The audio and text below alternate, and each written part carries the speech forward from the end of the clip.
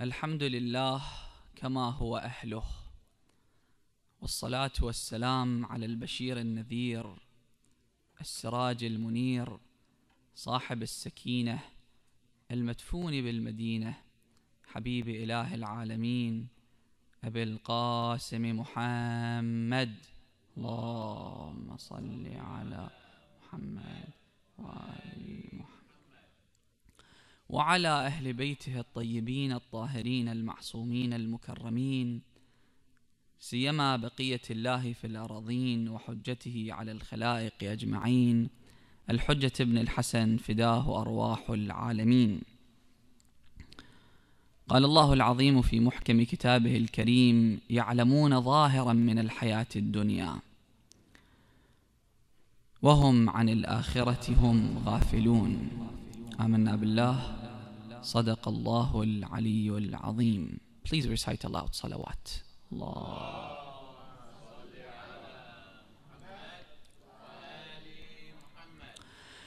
Without a doubt, Ali ibn Abi Talib is a sage.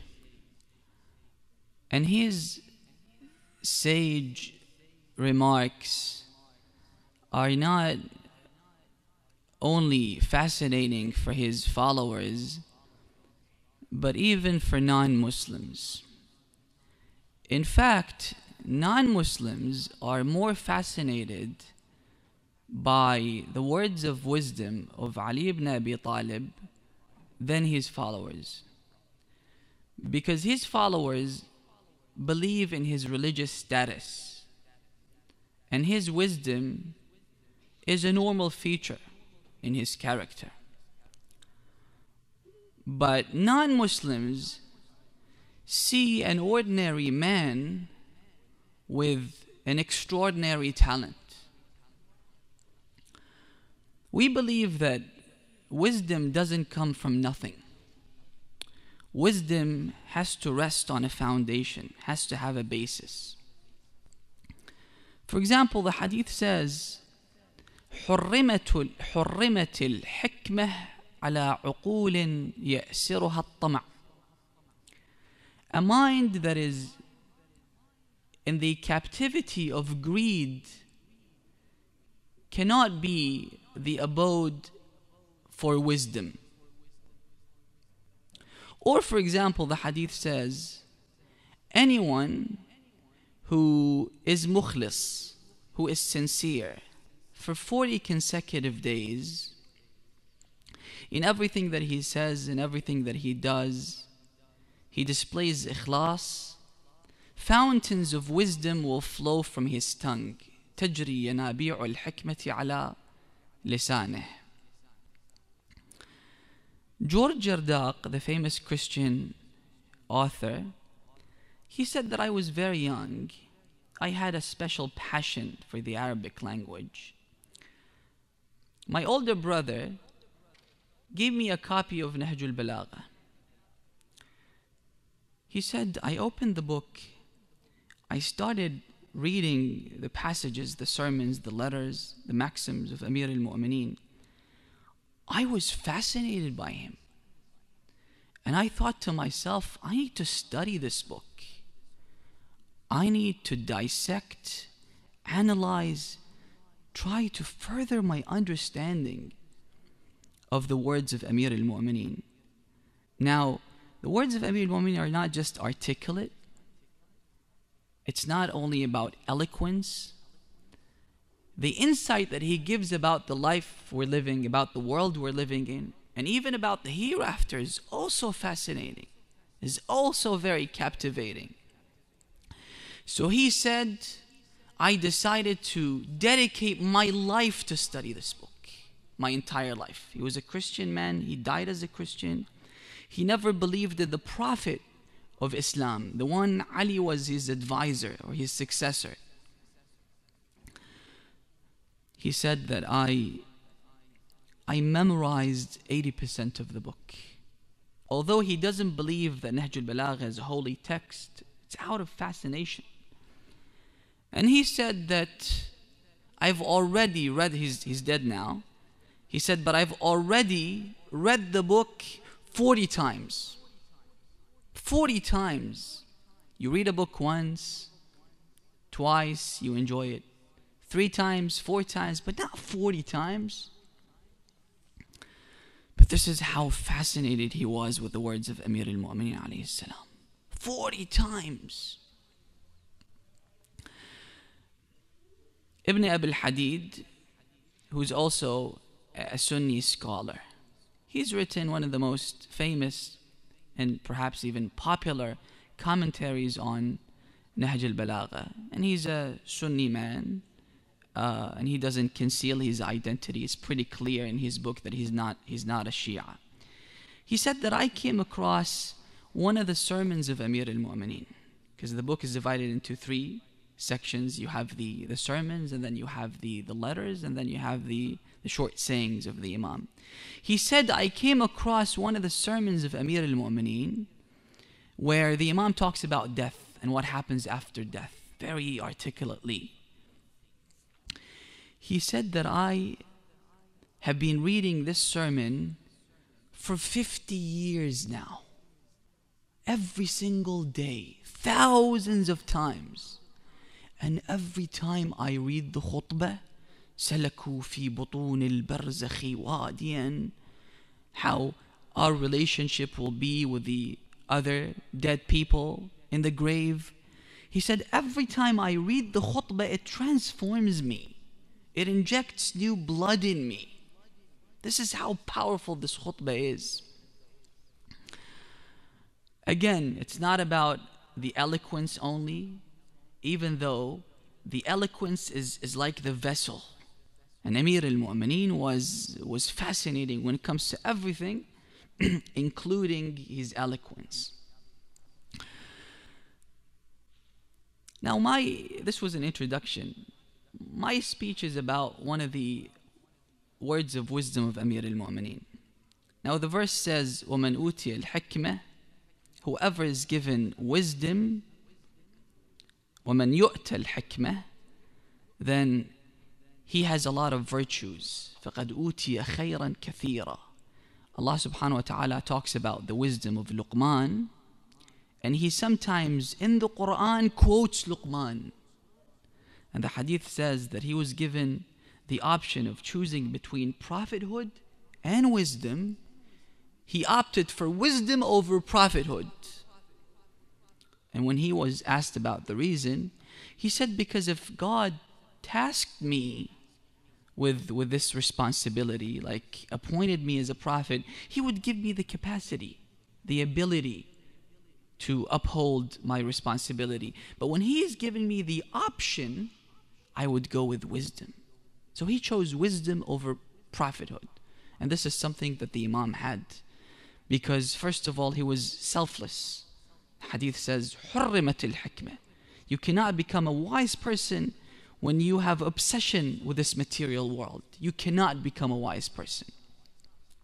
He was absolutely selfish, selfless, and he was the most sincere person you could ever find. The Imam, in one of his sayings, he says, الدنيا منتهى بصر الأعمى. A blind person is not a person that cannot see with his eyes. Because you might find a person who is blind in the literal sense, but has a luminous heart, has inner eyes. And yet, you might find people that have the ability to see, and in reality, they are blind. They don't see, they don't take lessons from life, they don't see the obvious. So the Imam says in, in this hadith, he says, الدنيا منتهى بصر الأعمى. A blind person is a person that limits his focus on this world and doesn't see beyond this world. Like how it was exemplified by the enemies of Imam al-Hussein and the companions of Imam al-Hussein The enemies of Imam al-Hussein out of greed and fear the majority of the people were from the people of Kufa who had interacted with Imam al Hussein alayhi salam, alaykum, who had, had attended the lectures of Imam Amir al Mu'min, so they knew everything, right? But out of greed and out of uh, fear from the authorities, they chose to side with the Umayyads and be part of this heinous crime against the grandson of, of Rasulullah. Take part in killing the grandson of Rasulullah sallallahu alaihi wasallam. While his the companions of Imam al-Hussein alayhi salam, they saw beyond this world. They thought that eventually, even if we stay in this world, side with Yazid, we'll stay here for a year or two, ten years, twenty years. Eventually, we'll perish. But then we'll return to God and we will be held accountable for what we did. This is something that the enemies of Imam al Hussein failed to see. You see how this short saying from Amir al Mu'mineen opens new doors and adds a, a, another dimension to our view of life. Or, for example, the, the story of the magicians. When they chose to believe in Musa, Pharaoh said to them that if you believe in him, I will crucify you, I'll do this, I'll do that, I'll kill you. They said, Do whatever you want to do. إنما تقضي هذه الحياة الدنيا Our life in this world, this is not the final chapter of our life. This is just a transient, temporary time that we're spending in this world. إنما تقضي هذه الحياة الدنيا And we will be judged. We'll be going to, to another world, to the afterlife. So they had a broader scope than the people that only focus on this world.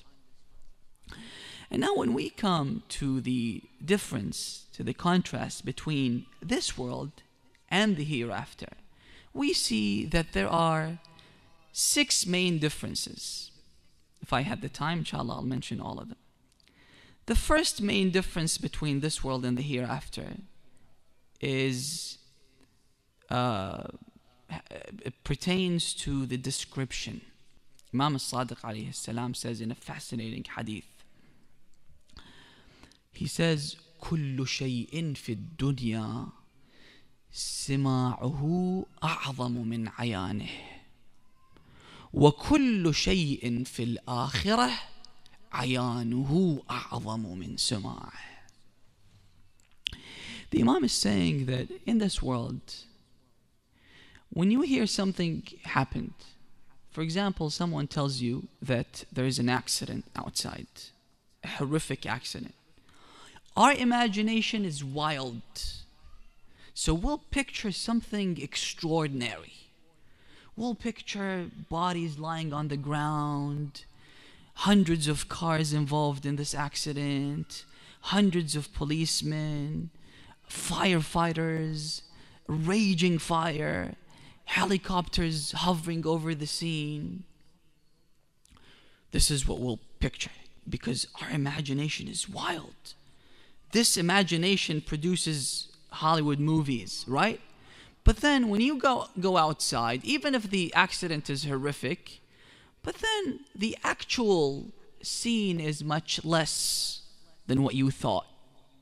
The accident isn't as bad as what you thought. Right? But when it comes to the hereafter, it's the opposite. Everything that you hear about the hereafter okay, is nothing, is minimal to the real thing. For example, Allah subhanahu wa ta'ala says, Ya ayyuhan nas, ittaqu rabbakum, fear God, for inna zalzalat as-sa'ati shay'un azim. Because there is a big, huge earthquake that will happen. And I've seen some clips that try to depict this earthquake. The verse continues to say يوم ترونها تذهل كل مرضعة عما أرضعت A nursing, caring, loving mother that is nursing her child out of dread and fear and astonishment will leave her child and go تذهل كل مرضعة عما أرضعت وترى الناس سكارى وما هم بسكارى ولكن Adhabullahi shadid. And you see people, you think they're intoxicated. You think they're drunk. They're not drunk. But God's wrath is intense. We have a lot of traditions, a lot of narrations that speak about, that gives us a description of, of doomsday. But every description that we, we hear is nothing compared to the real thing. The hadith says that one day the Prophet was sitting with Jibra'il. When all of a sudden Jibra'il turns pale. Jibra'il, who has witnessed every major event and incident, he was part of every event that happened. He turns pale. He says, Habibi Jibra'il, something wrong? He said, I saw Israfil, the whistleblower. He's descending on earth. So I thought maybe he came to blow the whistle to start the day of judgment. And I fear the day of judgment. إذا وقعت الواقعة ليس لوقعتها كاذبة خافضة رافعة The Prophet says that what made me grow old and look old, the gray hair in my beard, is because of Surah Al-Waqi'ah that speaks about the Day of Judgment. Everyone would be naked in that valley, and their sweat, because it will be so hot, will reach their chin, and everyone standing on their toes. And it's not just one single day.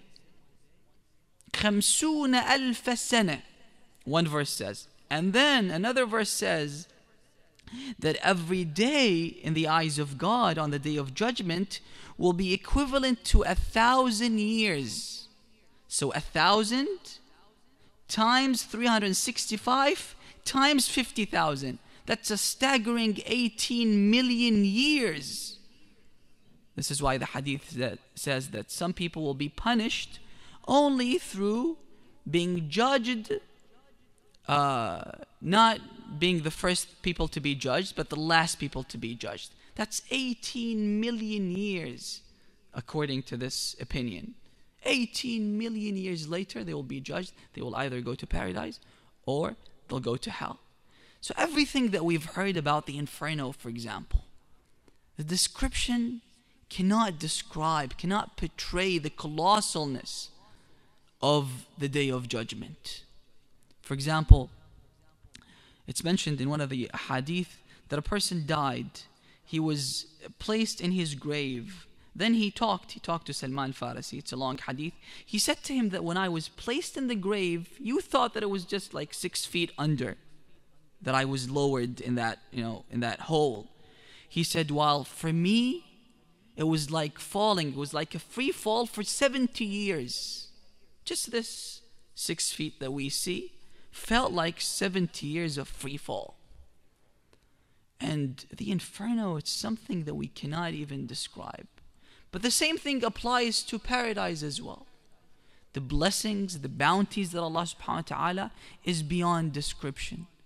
A brother a couple of days ago asked me, he said, when we ask Allah subhanahu wa ta'ala, when we pray to God to give us the hur al-ain, so that we marry the Hur al-Ain on the day of judgment, does that apply to women as well? I said to him, there is a difference of opinion in this regard. Some say that uh, al-Ain is, is the plural form of Aina. Some say it's the plural form of A'yun. Uh, so so it could it could be applicable to women and men. But I said, look, we recite uh, the du'a as uh, was you know as we received it from the imams.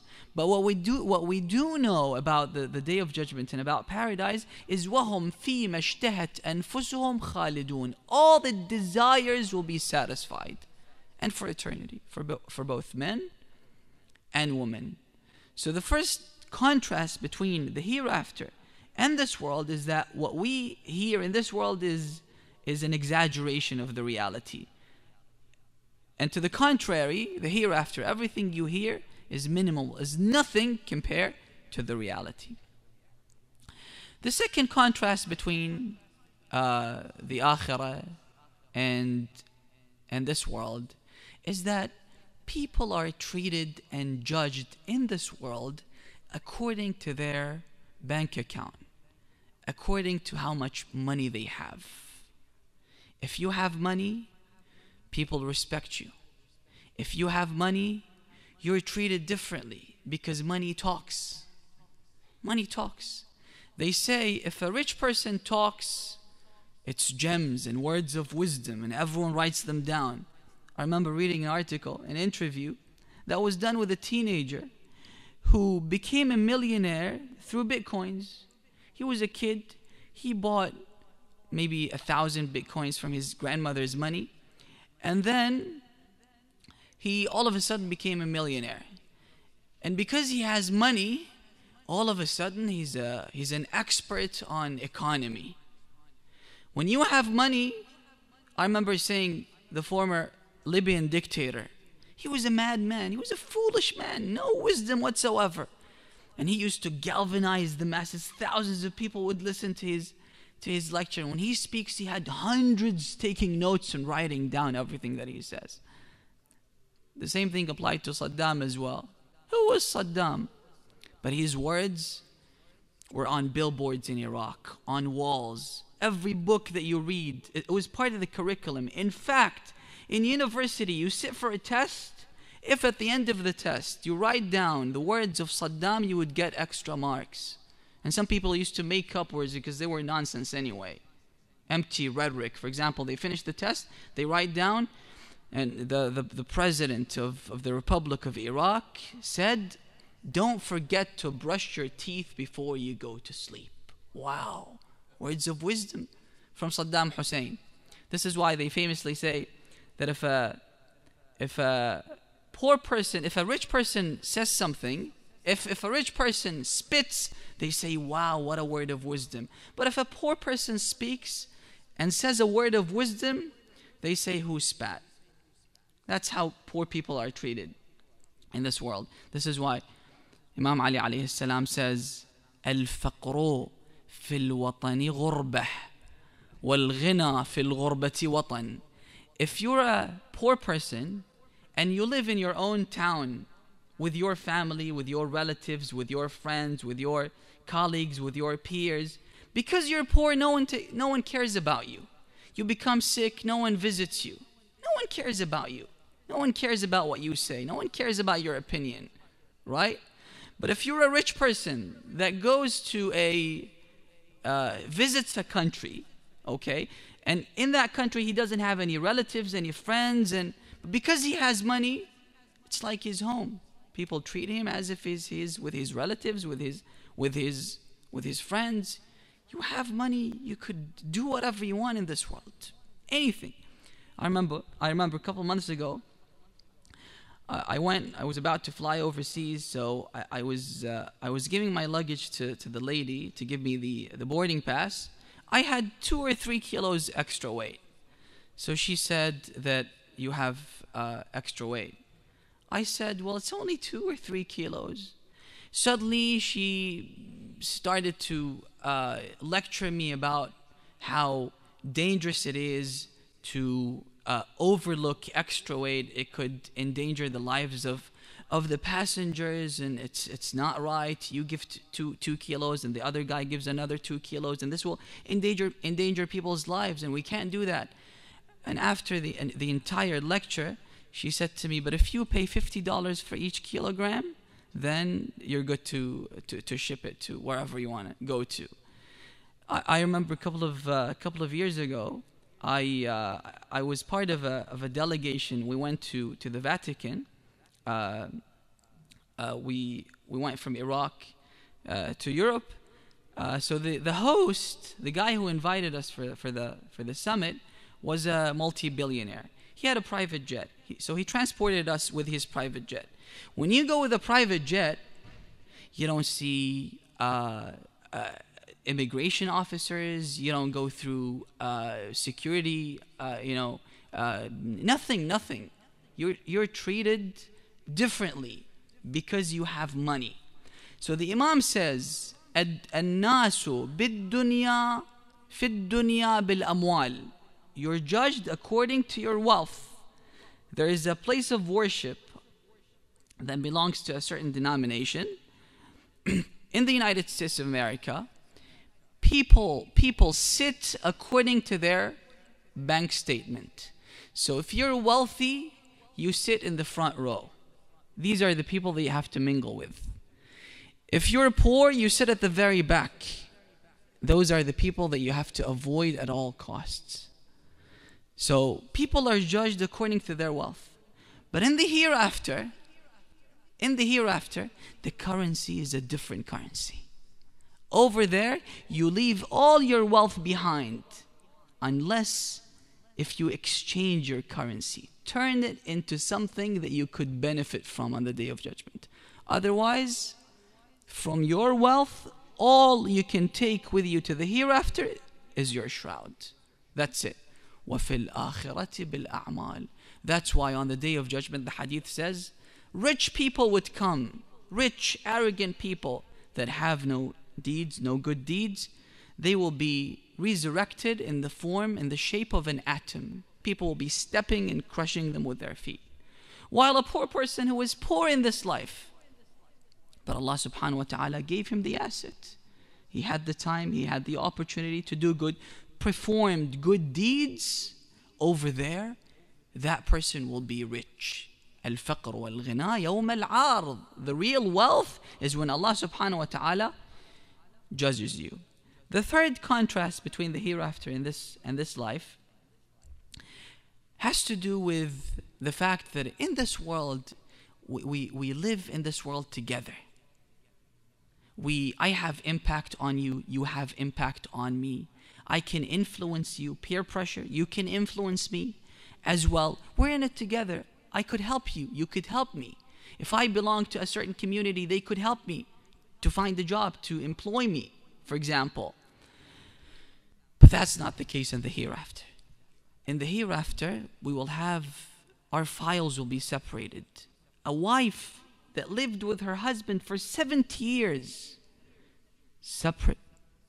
Everything about them is separate. We're sitting in the same hall today brothers, siblings live in the same house, they have the same parents. They are judged separately. كل آتيه يوم القيامة فردا. Everyone comes alone on the day of judgment and will be judged separately. Furthermore, people will be running away from each other. Relatives will be running away from each other because people want to save themselves. It's not a joke, it's serious. A father is approached by his son, Dad, help me. فيومئذ لا أنساب بينهم. We're not related anymore. On the day of judgment, we're not related anymore. A father would run away from his son. A mother would run away from her daughter. A daughter would run away from her mother. يوم يفر المرء من أخيه وأمه وأبيه. Furthermore, and that's the scary part. يود المجرم لو يفتدي من عذاب يومئذ ببنيه a criminal who is about to be taken to the inferno would be willing to sacrifice his own children just to salvage himself. It's like that word of wisdom of Homer Simpson, who was once, there were aliens that came down to, to eat him, to take him. He said, No, don't take me. I have children, take them. So that will be this our story on the day of judgment, God forbid. يَوَدُّ الْمُجْرِمِ The criminal would want to sacrifice his children just to save himself. Because it's about eternity. and also, one of the contrasts between the akhirah and this world is that in this world اليوم عمل بلا حساب وغد وغدا حساب ولا عمل in this world you're free you have the liberty to do whatever you want to do this is why a criminal is not held accountable for his crimes. A sinner is not held accountable for his sins. And some people are deceived. I'm sinning and God is not doing anything. God is not doing anything. And some people might be impacted by this. They say, Look at this sinner. He's, he's sinning, and yet nothing is happening to him. Because this place, this world is not supposed to be a place where Allah subhanahu wa ta'ala judges us. Only in rare cases that Allah subhanahu wa ta'ala punishes or judges people in this world. While in the hereafter, it's the opposite. Over there, when you go over there, you cannot add a single good deed to your file. When you go there, you realize that you've missed out on, for example, five days worth of salat. You cannot compensate. That's it, you're gone. Your file is sealed. Or you realize that you've committed sin. You want to come back, Rabbi. Return me to this world. I want to repent. I want to say astaghfirullah. But it's too late. It's too late. And also, one of the differences between the two is that over here, everything is transient, everything is temporary. Imam al Hussein, alayhi salam, when he was about to go to Karbala, he wrote a letter to his brother Muhammad ibn Hanafiyyah. He said, Amma ba'd. It was a very short, concise letter. He said, Ad-dunya khayruha wa sharruha hulum. Everything we go through, everything we see in this world is a dream. If it's, a, if it's hardship that we're going through, it's a nightmare. You'll wake up eventually. If it's a good dream that you're seeing, this joy is also transient and temporary. So the people that are living it up, they're enjoying living in this world. This joy is temporary. Temporary. It will come to an end. And the people that are suffering, the people that are going through hardship, it will come to an end as well. The hadith says that on the day of judgment, after after judgment day when god judges the good people and the bad people the bad people go to hell and the good people go to paradise death will be brought in the form of a sheep. And then this sheep will be slaughtered telling the people that death will not be available anymore. People will not die. So people in hell will rot in hell forever and people in paradise will stay in paradise forever. The hadith says that if death was available, the people of paradise will die out of joy and happiness. And if death was available, the people that went to hell will die out of grief and anguish because they're there to stay forever. He won't feel the joy of living because he's suffering and he's not dying. They want to die. They say, Oh God, we want to perish. We want to be non existent. But Allah subhanahu wa ta'ala says, Innakum makithun. You're staying there forever. Forever. This is the vision that Imam al Hussein alayhi salam had. And this is what made Imam al Hussein, uh, what enabled the Imam to embark on such an endeavor. Because this life is transient. They say to him, Ya Aba Abdullah, pledge your allegiance to Yazid, you'll be immune from punishment and retribution. And we won't do anything to you. We'll respect you. How can I pledge my allegiance to Yazid ibn Muawiyah, the corrupt man? I won't do this. We'll kill you. He said, Hayhat min He said, This guy is giving me an option of either getting killed or living under his rule. I will choose death over living under his, his rule. What did the Imam give on the day of Ashura? أعطى الذي ملكت يداه إلهه حتى الجنين فداه كل جنين وبعزة قعساء خاطب نفسه يا نفس لا تهني بنصر الدين. هذه رجالي هذه رجالي في خطاك ذبائح ما بين مذبوح وبين طعيني his son Ali al-Akbar comes Abba would you give me permission to go to the battlefield the Imam's tears begin to flow from his eyes Bunayya Ali oh God bear witness that whenever I long to see your messenger, my grandfather Rasulullah, I would see my son Ali.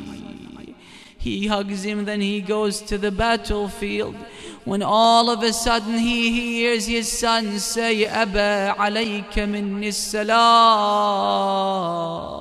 You don't have to come. This is my grandfather Rasulullah. He quenched my thirst. When the Imam came, he saw his son Ali al-Akbar severed into pieces. جلس على التراب. He sat on the plains of Karbala. He said, this life is was worthless after you, O Ali al-Akbar. He placed his cheek on his cheek and his chest on his chest. شاف والنبل شابك علي راح شافه والنبل شابك علي راح قعد عنده وصف جراحا علي راح يصيح بصوت يا زينب. علي راح علي راح وأنا الدنيا غدت ظلمة علي. رجوتك يا علي تعيش بعدي. وتوسد جثتي. رمس اللحود لا حول ولا قوة إلا بالله العلي العظيم والعاقبة للمتقين We ask Allah subhanahu wa ta'ala to hasten in the reappearance of the Imam of our time by reciting dua